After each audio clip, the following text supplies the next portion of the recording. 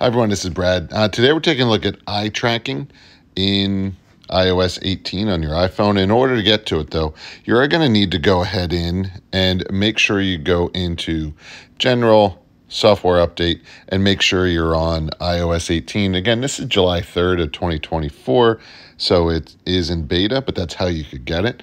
Uh, in order to do the eye tracking, though, we're going to go down and we are going to go into Accessibility and then we're going to toggle on eye tracking. Now, you're going to follow the dot, or I'm going to follow the dot. Um, and it's kind of like when you're at the eye doctor and they give you that puff of air, and you just have to follow it until the circles get smaller. So there's a few more here to go. It just goes around the screen.